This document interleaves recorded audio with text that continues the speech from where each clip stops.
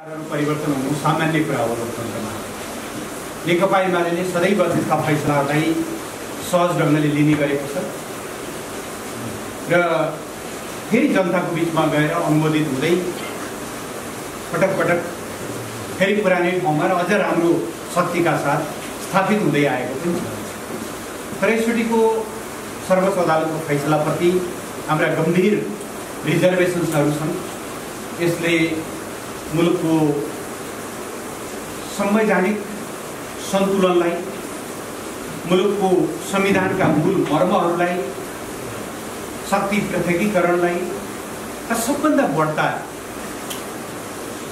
हामीले गएको सत्तरी वर्षदेखि लडेर स्थापित गरेको पार्टी प्रणालीलाई भित्रैदेखि धक्का पुर्याउने कमजोर गर्ने त्यसलाई एक किसिमले भन्यो भने गहिरो गरी सिरा पार्ने काम गरेको छ। अहिले नेकपा एमाले सरकारबाट बाहिरिँदा कति बेला आनन्द लागेको होला। तर जुन बिउ सर्वोच्च अदालतको फैसलामा रोकिएको छ त्यो बिउ झाँगिँदै जाँदा त्यसले भोलि मुलुकको तान्त्रिक प्रणालीलाई नै गलत दिशातिर लैजाने र भर्खरै स्थापित भएको सङ्घीय लोकतान्त्रिक गणतन्त्र नै अप्ठ्यारोमा पर्ने कुराबाट हामी बढी चिन्तित छौँ। खास गरेर त्यसले सर्वोच्च अदालतबाटै प्रधानमन्त्री नियुक्त हुने जुन खालको एउटा गलत नजिर बसालेको छ यो मुलुकको दीर्घकालीन राजनीतिक प्रणालीका लागि लोकतान्त्रिक प्रणालीका लागि असाध्य हानिकारक छ। यसले संसदको पनि अधिकार पसेको छ यसले शक्ति सन्तुलनका आधारको सिद्धान्तलाई पनि भत्काउने काम गरेको छ।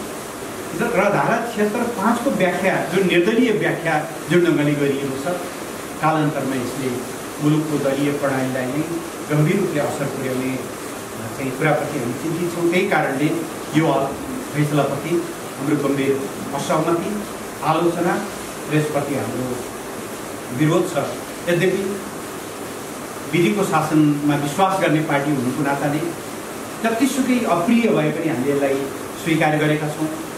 स्वीकार गर्छौँ। तर स्वीकार गर्नु र त्यसलाई उचित ठहराउनु दुईवटा फरक फरक कुराहरू हामी यसलाई उचित ठहराउन सकेनौँ। हामी जनताको बिचमा यस विषयमा बहस चलाउँछौँ र जनमतकै बलमा यसले स्थापित गरेका गलत जुन मान्यताहरू छन् त्यसलाई संवैधानिक रूपमै करेक्सन गर्ने पार्टीको दृष्टिकोण छ। पहिलो कुरा मैले यहाँलाई निवेदन गर्न चाहन्छु त्यसको बारेमा पार्टीका दृष्टिकोणहरू सार्वजनिक भइ नै सकेका छन्। दोस्रो यो सरकार बनेको छ। यो सरकार सारा एउटा अवसरवादको जगमा खडा भएको सरकार हो। हिजो नेकपा माओवादी एउटा घोषणापत्रमा लडेको थियो। आज त्यो घोषणापत्रलाई च्यापेर ऊ अर्को गठबन्धनमा गएर यो सरकारमा सम्मिलित भएको छ।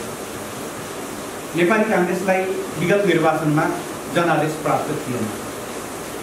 एक सय पैँसठी सिटमध्ये तेइस सिट प्रत्यक्षतर्फ जितेको पार्टी अहिले विभिन्न स्वार्थ समूहहरू एक ठाउँमा आएर सरकारको नेतृत्व गर्ने ठाउँमा पुगेको छ यो अवसरवादी गठबन्धन भएको कारणले स्वार्थहरूको गठजोड भएको कारणले सरकार प्रारम्भदेखि नै अप्ठ्यारोमा पर्न थालेको छ अझ एक महिनाभन्दा बढी सरकारले पूर्णता पाएको छैन।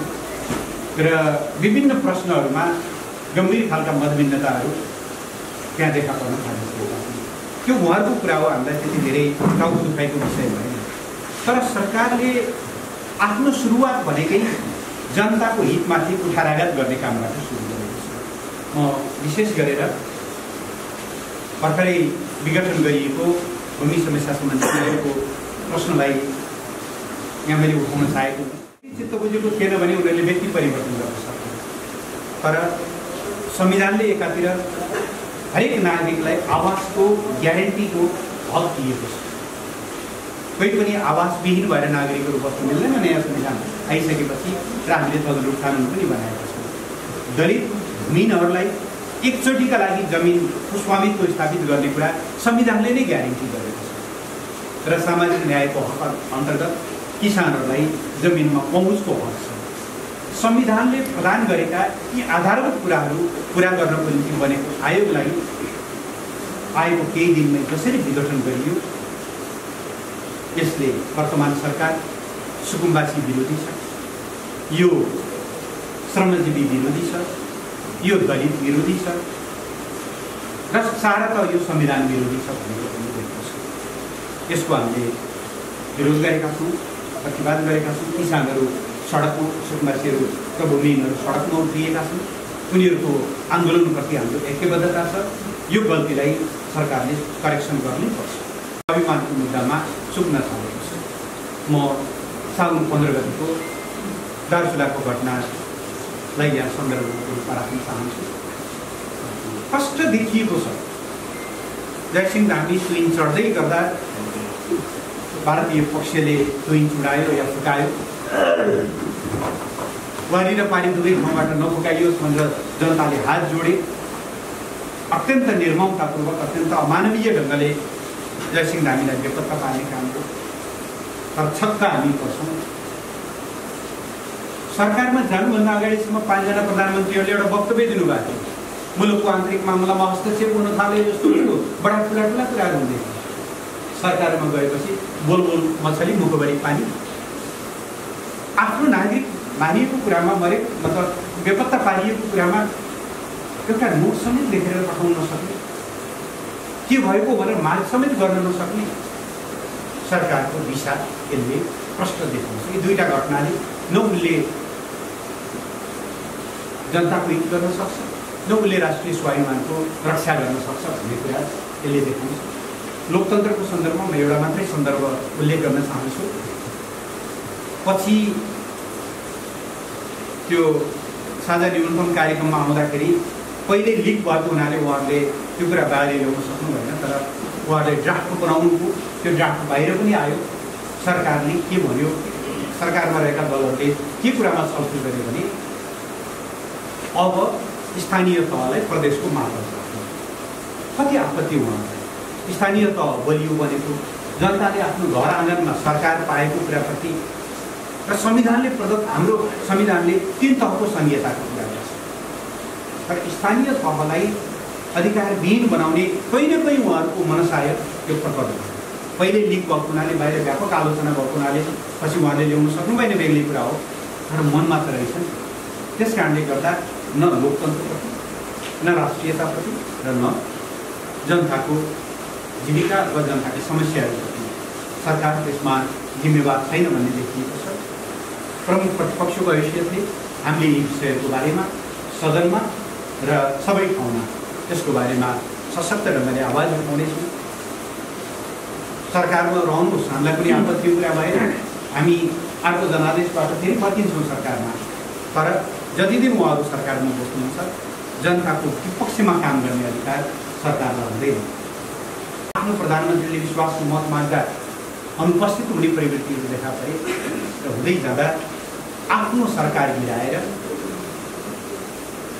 प्रमुख विपक्षीलाई सरकारको तालाचाबी सुम्पिने काममा हाम्रै पार्टी पङ्क्तिका कतिपय साथीहरू कतिपय सांसदहरू सहयोगी बन्ने खालका स्थितिहरू देखा परे। यो नेकपा एमालेको निम्ति मात्रै होइन। यस्ता प्रवृत्तिहरू मुलुकको लोकतान्त्रिक पद्धतिकै निम्ति हानिकारक। एकाउन्न सालमा गिरिजाप्रसाद कोइराला प्रधानमन्त्री हुनुहुँदा उहाँले प्रस्तुत गरेको नीति कार्यक्रममाथि मतदान हुने दिन काङ्ग्रेसका छत्तिसजना सांसदहरू अनुपस्थित भइदिँदा त्यो सरकारलाई मात्रै धक्का लागेन त्यसपछि मुलुकमा अस्थिरताको एउटा श्रृङ्खला सुरु त्यस कारण यस्ता प्रवृत्तिहरूले कुनै खास पार्टीलाई मात्रै होइन प्रणालीलाई नै असर गर्छन्। त्यस कारणले यस्ता प्रवृत्तिहरू आलोचना योग्य छन्। विरोध योग्य छन् निन्दा योग्य छन् पार्टीले त्यही ढङ्गले त्यो विषयलाई अगाडि बढाएको छ। त्यति हुँदाहुँदै पनि पार्टीबाट सकभर कोही साथी पनि विचलित नहुनु। गल्ती गरे पनि गल्ती सुधार गरेर पार्टीको बृहत्तर मुद्दाहरूमा फर्किउन् भन्नका निम्ति हामीले निरन्तर प्रयासहरू गरिरहेका छौँ। तर कस्तो देखियो भनेदेखि निरन्तर शर्तहरू बदल्दै जाने नयाँ नयाँ शर्तहरू थप्दै जाने सुरुमा साथीहरूले भन्नुभयो जेफ दुईमा फर्केपछि पार्टीका समस्याहरू समाधान हुन्छन् हामीले डेढ दुईमा फर्किने कुरा गऱ्यौँ जस्तै दसमध्ये प्रस्तावमा हस्ताक्षर भयो र त्यो प्रस्तावलाई पार्टीले अन पनि गर्यो कार्यान्वयन गर्ने निर्णय पनि गर्यो त्यो कार्यान्वयन भइ नै पनि सक्यो पार्टीभित्र सन्तुलन छैन केही मान्छेहरू थप्न दिनु पऱ्यो भन्ने र ठिक छ दस प्रतिशत मनोनयन गर्न सक्ने भनेर हामीले त्यो पनि ढोका खुला गऱ्यौँ। फेरि एउटा नयाँ शर्त आयो। पार्टीमा दोस्रो अध्यक्ष चाहियो। एकछिन त हामीलाई विश्वास लागेन। अधिवेशनमा त्यही पदमा राजित साथीले फेरि मलाई त्यही पद चाहियो। त्यसरी भन्नुभयो होला। तर यो पद हो रहेछ भनिसकेपछि र भइगयो त पार्टीको एकताका निम्ति त्यसो गरेर पनि हुन्छ भनेदेखि होस् भनेर अध्यक्षले त्यो कुरा पनि हुन्छ भन्नुभयो तर फेरि नयाँ नयाँ सर्तहरू तेर्स्याइँदै गरेको अवस्था छ। तै पनि हामी पार्टीको एकतालाई जोगाउनका निम्ति हरसम्भव प्रयत्नहरू गरिरहेका छौँ। तर पार्टीले अब चाहिँ